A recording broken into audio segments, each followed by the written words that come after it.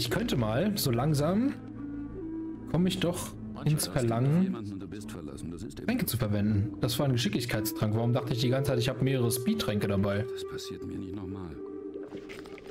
So, wer weiß, was die hier alles mit dem Spiel anrichten. Deswegen wird nochmal abgespeichert. Und jetzt gibt es den Matt-Sprint. Wobei Kadar gibt es natürlich auch noch, um Schriften zu erwerben. Ganz vergessen.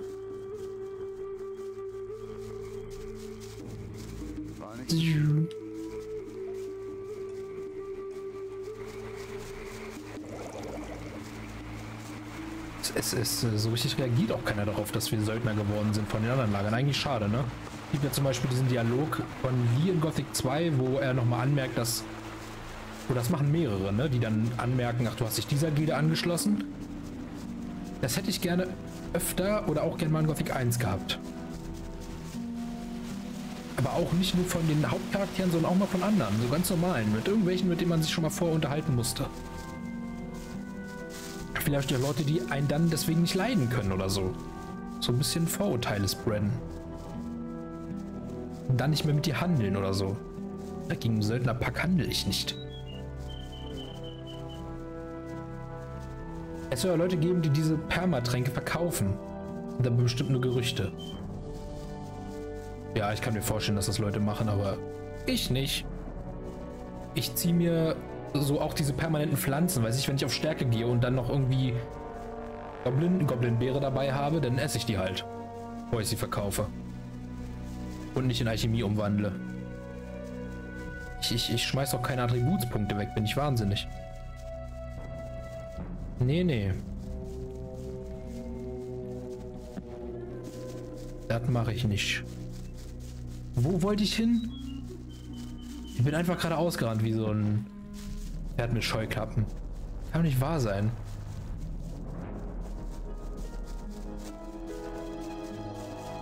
Von dem Weg hätte ich noch gleich laufen können. Ich, jetzt gehe ich den Weg ja doch doppelt. Ah. Da denkst du, du bist mal ein bisschen ökonomisch unterwegs. Scheißt einfach komplett rein. Ich fand den Spruch so super. Ich glaube, der war sogar von Sammy. Es ist auch für mich die sechste Stunde. Ach. War toll.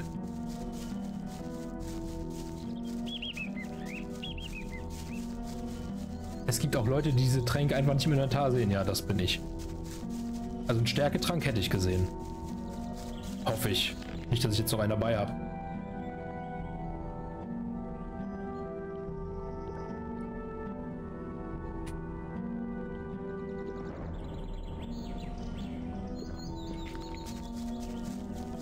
Was soll ich sagen? Ups, ja. Scheiße. Danke für den subtilen Hinweis. Ah, Mann. Wie kann denn nur alles schief gehen?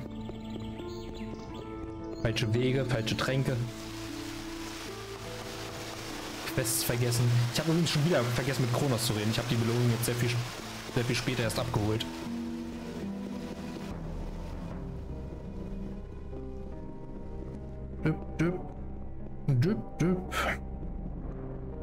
Lester, wo bist du eigentlich? Der liest jetzt oben was, ne? Jetzt steht er nämlich oben erst. So war das doch.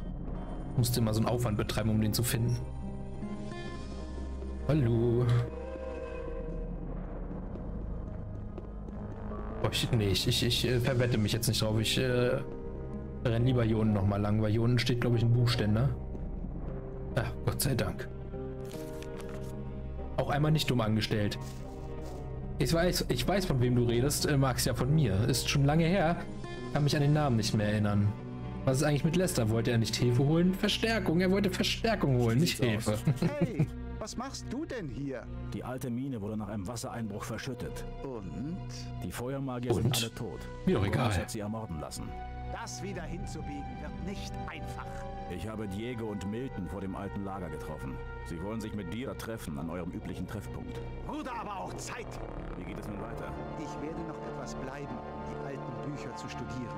Äh, ich verstehe nicht.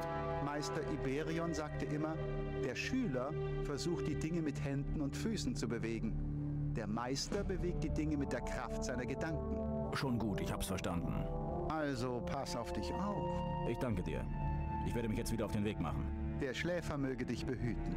Bin ich blöd oder hat die Hälfte vom Dialog keinen Sinn gemacht? Aber als Lester sagte, wurde auch Zeit. Ich glaube, so energisch erlegt man ihn nie wieder. Danach hat er nur Kopfschmerzen oder braut Sumpfkraut an. Braut an. Baut an. So rum. So, und nochmal zurück zu den Wassermagiern. Ich glaube, ich habe alles beisammen. Naja. Gehe ich zuerst zu Xardas? Ich muss zuerst zu Xardas, ne? Ich kann jetzt die Mine noch nicht befreien. Dann, wie gehe ich da am besten? Macht von hier nicht vielleicht dann schon am meisten Sinn? Sumpf und Wassermagier sind quasi genau die falschen Ecken der Kolonie, um dahin zu kommen. Ich glaube, ich laufe einfach von hier.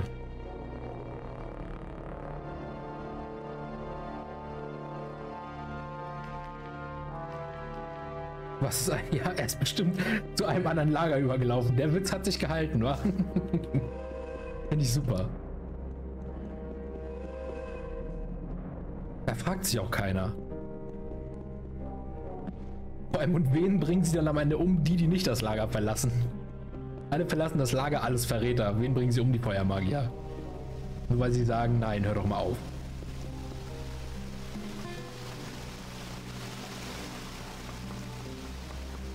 Wo ist eigentlich Korkalom? Er ist bestimmt zum alten Lager übergelaufen.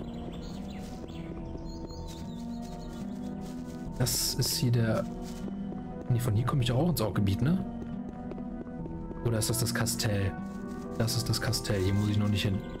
Gibt es noch andere Wege? Gute Wege?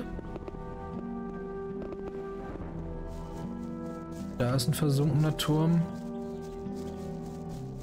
Boah, ich weiß nicht, ob ich so easy durchs komplette Orkgebiet komme. Mit der Söldnerklinge eigentlich schon. Ich versuche immer runterzuspringen oder ist das Wasser da zu flach? Geronimo. Ast rein. Ast rein gelandet.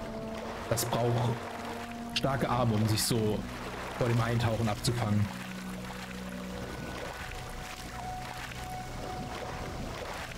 Ich hoffe, ich kann daraus mein eigenes Gothic-Meme machen. Damit hat sich keiner, hat keiner gerechnet, das zu hören.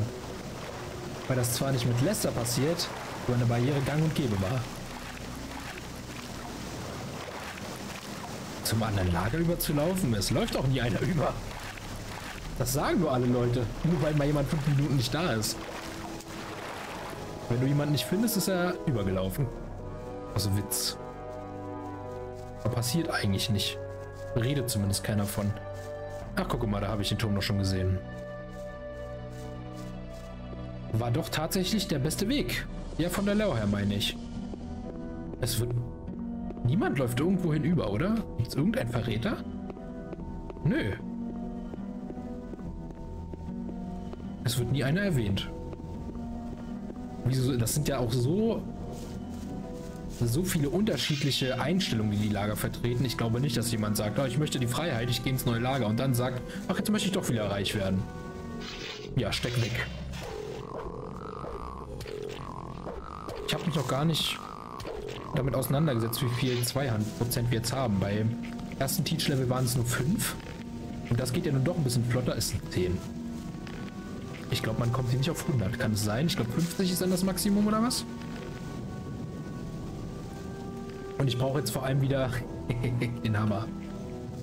Den wir auch mit zwei Händen führen. Das bringt nur leider nichts.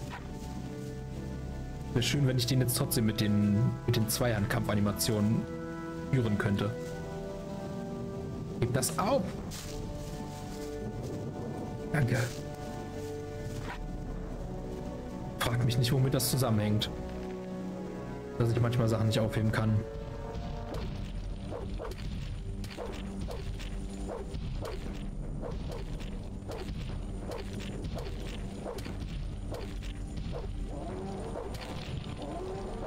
Laufangriffe funktionieren irgendwie. Hau mich nicht weg. Und was sind die vom neuen Lager? Die waren doch vorher auch alle im alten Lager, genau wie die vom Sumpflager. So wie das die, die man beim Überlaufen geholfen hat. Ja, das sind Butler. Die sind ja mehr zwangsmäßig da, die haben sich noch nicht entschieden. Das würde ich nicht als Überlaufen nehmen, aber ich verstehe auch deinen Gedankengang. Ich, äh, ich kann ihn tolerieren. Ein rostiger Einhänder, Mensch. Gleich wieder draufgehauen auf die Wunde. so, ich äh, leg mal wieder eine gute Waffe an hier. Feuerball. Ich habe auch äh, mal wieder Mana aufzufüllen. Besten Dank auch. Und nochmal drüber gespeichert.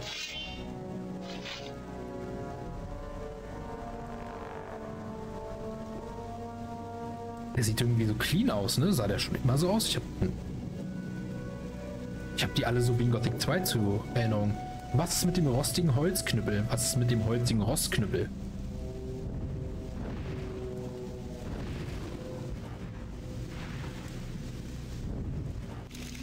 Oh, Gott sei Dank. Ich dachte schon, der haut noch mal was raus. Kriege ich das Herz? Nee. Doch. Und jetzt äh, Belia-Magie noch hinzu. Wo habe ich denn den Kugelblitz? Ich hab doch welchen gekauft. Ach, da ist er ja. Sieht irgendwie so aus wie so ein Eiszauber. Auf der Schriftrolle. Auf dem Papier sieht es aus wie ein Eiszauber.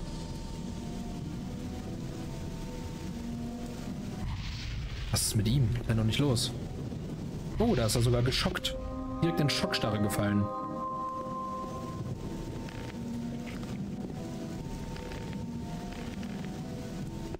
Jawolski. Dann quatschen wir mit dem Dämon und der wird wahrscheinlich richtig scheußlich aus in dem Remake, habe ich gehört, ne? Da gibt es ja so tolle Screens. Äh. Ach ja, die wäre eigentlich eine Leiter, habe ich gehört.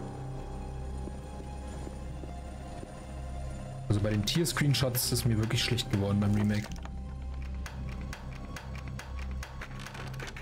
Was haben wir hier? Oh, ich sehe den permanenten Trank. Der hat so ein schönes Dreieck vorne auf der Flasche.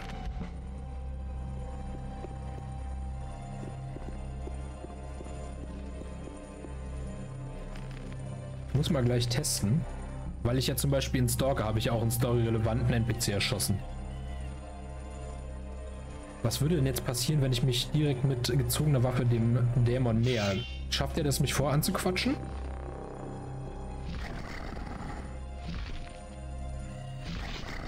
Nee. Moment, wer, wer spricht hier? Achso, er dreht sich um, deswegen, ja. Oh, das war eine Schleichanimation, ich hab's gar nicht gelernt. Wie, Spielfehler. wie kommst du in meinen Kopf? Du bist was? Der Diener deines Herrn? Du erscheinst mir eher wie eine Kreatur der Hölle. Ich soll schweigen. Ich muss mit deinem Meister sprechen. Ich? Unwürdig? Was für ein Test. Ah, ich verstehe. Wer deinen Meister sprechen will, muss sich würdig erweisen. Moment, wie war das? Der Beweis? Sieg über was? Sieg über die Elemente. Stein. Eis. Feuer. Ich weiß nicht, wie ich das finde. Ich finde es irgendwie komisch, dass ein Dämon mit mir redet über Telepathie und dass das nicht konsequent durchgezogen wurde. Es wäre doch cool, wenn die Dämonen, die man zum Beispiel in oder auch im Schläfertempel die ganze Reihe lang bekämpft, wenn die dann auch irgendeinen mentalen Effekt auf mich hätten. Weiß auch, so viel wie Gothic 2 Besessenheit oder so. Irgendwie sowas. Auch wenn das jetzt keinen großen Unterschied mehr machen würde, aber mit der Fähigkeit müssen die doch auch irgendwas Schädliches machen können. Oder hat das nur dieser eine Dämon, weil er von Xardas beschworen wurde? Dann sag mir das. Es ist jetzt nicht wichtig für den Spielverlauf, aber es würde mich einfach interessieren. Ich, ich brauche Details. Heißt dein Herr und Meister zufällig Xardas? Aha, Namen sind also unwichtig. Okay, ich gehe einfach mal davon aus, dass das hier der Turm von Xardas ist. Von wem auch sonst. Ist dieses Herz eines Eisgolems ein Beweis? Was? Aha. Ein würdiger Beweis. Fehlen? Zwei fehlen. hm? Ich habe den Was Stein liegen lassen. Scheiße. Die Dualität. Der zweite Beweis. Einer bleibt noch? Ich gehe nochmal hoch. Sterblicher? Wer ich? Ich gehe ja schon. Vergessen kann ich gut. Ich weiß gar nicht, wie viele YouTube-Folgen von Let's Plays bei mir jetzt schon vergessen im Namen haben. Obwohl die letzte war, glaube ich, Risen 1. Irgendwo. Und das war auch eine der ersten Folgen mit Ich habe schon wieder was vergessen oder so. Aber Gott sei Dank liegt er noch da. Die, die spawnen nicht so schnell, wenn sie noch Loot drin haben. Ja, Gott sei Dank. Den, den einfachsten Golem liegen lassen.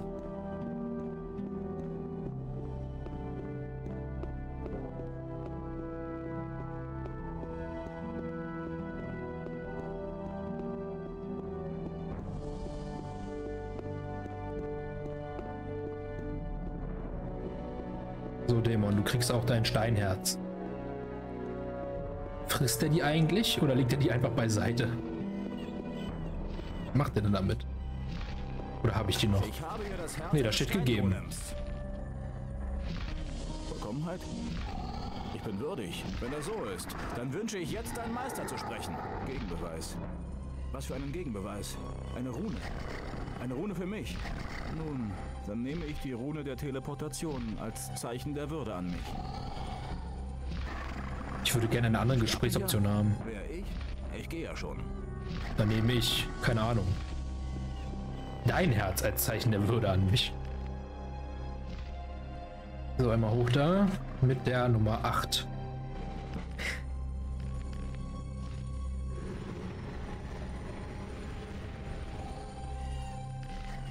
Ich habe vorhin noch gesagt, ich habe den äh, permanenten Trank gesehen, ne? Ich habe ihn anscheinend auch getrunken. Ja, ist schon ausgerüstet. Gut, jetzt hoch da.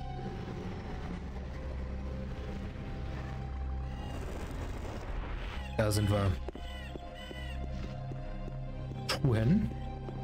Schauen wir mal, was drin ist. Erstmal einfache Tränke.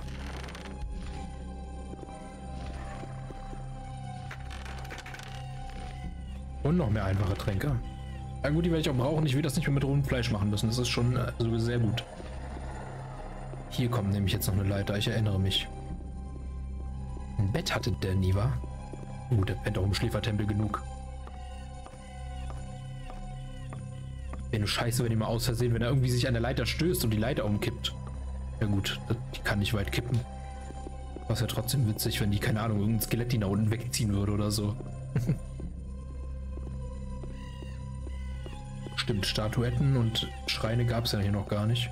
Ich bin das irgendwie schon so gewohnt aus Gothic 2, dass hier ein Bär, ein Bär-Statue steht. Wer wagt es, meine Studien zu unterbrechen? Mein Name ist. Ich will deinen Namen nicht wissen. Er ist unwichtig. Okay. Wichtig ist nur, dass du der Erste seit vielen Jahren bist, der meine Golem-Rätsel gelöst hat. Wer war der Letzte? Wahrscheinlich ein Magier war es. Wahrscheinlich zu kompliziert gedacht jetzt. Oder ist ja die Frage sogar. Gab es andere Besucher? Nicht viele. Und als sie mir lästig wurden, machten sie Bekanntschaft mit einem meiner höheren Wesen. Du bist wohl gerne ungestört, was? Nicht viele. Das müssen doch eigentlich sehr wenigstens mächtigere Personen sein. Du kommst ja nicht einfach so durchs Orkgebiet. Die Feuermagier sind alle tot. Gomez hat sie ermorden lassen. Das wundert mich nicht sonderlich. Diesen dummen, barbarischen Schlechtern in der Burg allen voran Gomez war noch nie zu trauen. Choristo und die anderen Magier haben sich ihren Henker selbst gewählt, als sie Gomez damals halfen, die Macht an sich zu reißen. Wie soll das denn ausgesehen haben? Ich glaube, die haben nur dafür gesorgt, dass es wenigstens ein Oberhaupt gibt. Weil, wenn die sich zerstreiten würden, dann bringt ja am Ende keiner mehr das Erz nach draußen. Also, das ist die einzige Interpretation, die für mich logisch ist. Ich glaube nicht, dass die Feuermagier Gomez gut fanden. Das war halt das, das schnellstmögliche Übel, was man wählen konnte, sozusagen. Um den Erzfluss wieder aufrechtzuerhalten. Der sogenannte Schläfer soll ein übler Erzdämon sein. Hat mir keiner die gesagt. Bruderschaft im Sumpf herausgefunden. Die Wassermagier glauben nun, dass wir alle in der Kolonie in großer Gefahr seien. Die Gefahr ist größer, als irgendjemand innerhalb der Barriere erahnen kann. Saturas schickt mich. Wir brauchen deine Hilfe.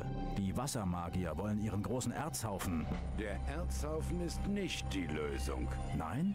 Nein, Wenn die Sprengung des Erzhaufens die große Gefahr nicht beseitigt. vergiss den großen Erzhaufen. Seine Energie wird die Barriere nicht sprengen können. Hätten Choristo und Saturas in den letzten Jahren weniger Zeit für ihre törichten und eitlen Streitereien verschwendet, dann wüssten sie jetzt vielleicht auch das, was ich weiß. Was denn? Keiner der zwölf Magier von damals scheint sich je gefragt zu haben, warum die Erschaffung der Barriere außer Kontrolle geriet und sie diese riesigen Ausmaße annahm. Hast du es herausgefunden? Eins ist auf jeden Fall klar. Die Antwort liegt tief unter der Stadt der Orks. Die Stadt der Orks? Die Orks sind nicht etwa, wie viele glauben, Tiere. Ihre Kultur reicht fast ebenso weit zurück wie die der Menschen. Vor vielen hundert Jahren beschwörten fünf Ork-Schamanen einen uralten Erzdämonen, um ihrem Clan die Macht zu verleihen, ihre Feinde zu vernichten. War dieser Erzdämon der Schläfer? Diesen Namen gaben ihm die Orks erst viel später. Doch warum sie das taten und warum sie heute vor diesem Überwesen in Furcht erzittern, werde ich dir nicht erzählen. Ach du, Schack das? Warum nicht? Ich glaube, du könntest der... Nein. Um mir ganz sicher zu sein, musst du noch eine weitere Aufgabe lösen. Was für eine Aufgabe? Hör gut zu. Die Orks haben einen ihrer Schamanen aus ihrer Stadt verbannt. Warum haben sie ihn verbannt? Das konnte der sterbende Orkkrieger, der von einem meiner Dämonen befragt wurde, nicht mehr von sich geben. So ein Ork-Verhör hätte ich echt gerne gesehen. Das klingt eigentlich sehr interessant. Aber das wäre äh, sehr detailaufwendig, glaube ich. Was hat dieser Ork-Schamane mit meiner Aufgabe zu tun? Er wird dir den fehlenden Teil der Geschichte über den Schläfer erzählen. Ein Ork-Schamane wird sich wohl kaum mit mir unterhalten. Willst du nun meine Hilfe oder willst du sie nicht? Doch schon, aber Dann stelle meine Worte nie wieder in Frage. Suche den Schamanen. Er ist nicht gut auf seine Brüder in der Orkstadt zu sprechen. Also wird er dir vielleicht zuhören, bevor er dich zu einer lebenden Fackel macht. sehr beruhigend. Zardas hat also keine Lust, sich äh, großartig zu erklären. Wo hält sich dieser Verbannte auf? Gehe zum alten Kastell östlich von hier. Es ist nicht zu übersehen, denn es steht auf dem Gipfel eines hohen Berges, der schon von weitem zu sehen ist. Kann man es so einfach betreten? Es wird zwar noch altes Kastell genannt, aber genau genommen stehen da nur noch die Grundmauern. Es ist schon seit vielen Jahrzehnten eine Ruine. Ich werde mir die Antworten von diesem Schamanen holen. Mein Diener hat dir ja bereits eine Teleportationsrune für das Pentagramm einen Stock tiefer gegeben. Damit sollte es kein Problem für dich sein, wieder hierher zurückzukehren. Und man muss sich vor Augen halten, in der freien Mine werden gerade fleißig Schürfe abgestochen. Ich suche magisches Wissen. Was haben wir denn hier eigentlich? Untote vernichten. Na, als Rune ist schon nicht schlecht eigentlich. Magier gibt hier am Ende auch wieder gut was her. Aber ich finde es immer so affig. Ich frage mich, kriegt man es eigentlich hin, hier einen Vollmagier zu spielen? Wenn du richtig viel Erz hast, musst du so viel in, Schrif in Schriftrollen investieren, die du die ganze Zeit benutzt. Ich finde es immer blöd, wenn du dann am Ende in der Feuermagierrobe immer da mit einem Einhänder und einem Bogen rumstehst. Die kannst du zwar ablegen, aber die Kampftalente sind ja schon gesetzt. Ich muss mich hier raus teleportieren, ne? Ohne Akrobatik schaffe ich es auch oben vom Turm nicht runter. Warum habe ich denn die Leiter genommen? Aber ich kann sowieso aus dem Sumpf gut Richtung Kastell sprinten, glaube ich.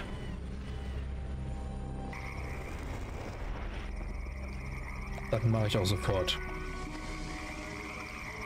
Nochmal ein Sprintschnäpschen. Wo ist es denn? Da. Wie die sich immer wieder auffüllen, ne? Das sind irgendwie unendlich auch fünf.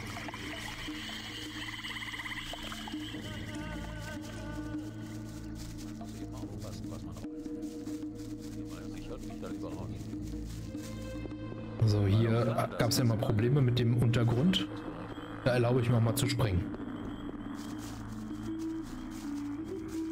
Dass man Koanga auch nicht weiter informieren kann oder sowas mit dem Erzdämon ist. Ne? Ich weiß zwar nicht, wo er man die Information hat, dass er es auf einmal ein Erzdämon sein soll. Aber man kann hier mit keinem weiter darüber interagieren. Irgendwie scheint, scheinen hier alle sich nicht weiter für das Schicksal der Kolonie oder ihren Schläfer zu interessieren. Vielleicht werden sie auch schon alle wahnsinnig. Sie suchen mich schon. Sie wissen nur nicht, dass sie mich suchen.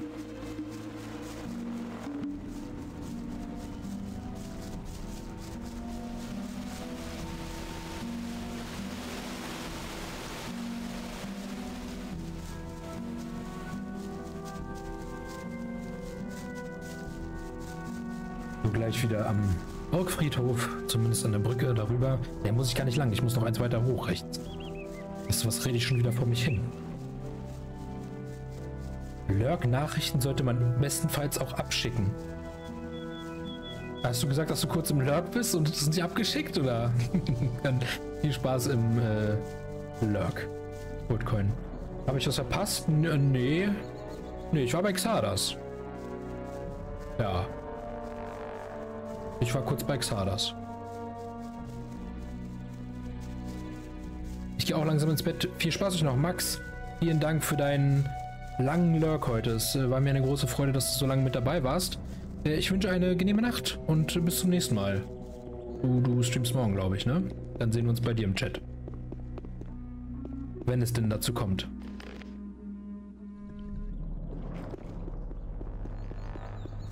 Und da haben wir das Kastell. Oh Gott, ich dachte kurz, ich kann unter der Brücke durchrennen. Orks wird gespeichert. Und dann werden sie erschlagen. Orkjäger jagen einen Schaman. Die müssen auch selber wissen, dass das nichts werden kann. Die werden doch wohl selber wissen, was ihre Schamanen drauf haben.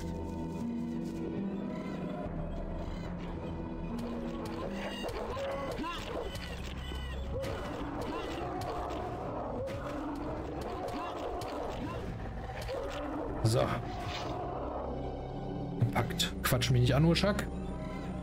Bin noch nicht bereit. Ach, Tempelkrieger sind das.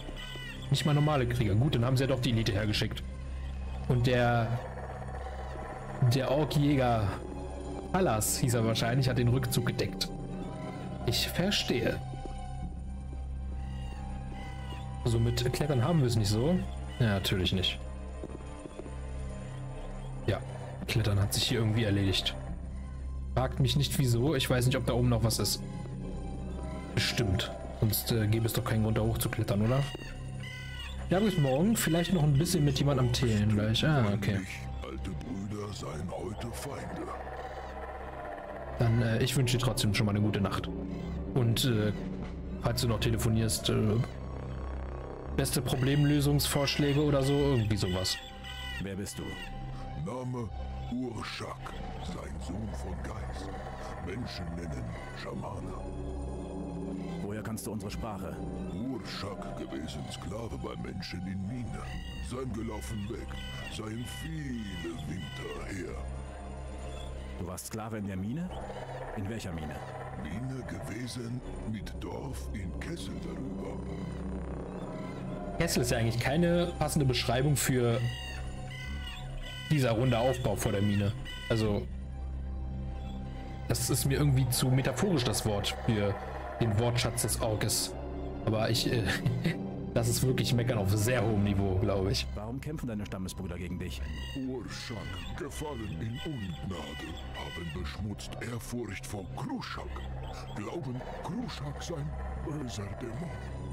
Ich dachte, das wüsste ich schon. Kruschak? Menschen sagen, schlafen.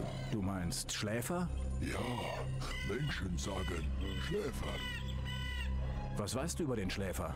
Fünf Brüder seien gewesen, seien viele Winter vorher, waren Söhne von Geist, wie Urschak, Fünf Schamanen also. haben gerufen, Kruschak, haben besiegen wollen Clan von Feind. Fünf Brüder von damals haben gebaut Tempel in Erde für Kruschak. Ein unterirdischer Tempel zu Ehren des Schläfers. Das muss Xardas gemeint haben mit unter der Orkstadt. Also ist doch eigentlich egal, ob es ein Tempel ist oder einfach rein da. Was passierte dann im Tempel unter der Erde? Brüder von damals haben gegeben Herz für Kruschak. Aber Kruschak gewesen böse. Kruschak verfluchen alle, die bauen Tempel. Brüder ohne Herz, nun sein Tod und lebendig. Sein beides. Kruschak haben Herz von Brüder.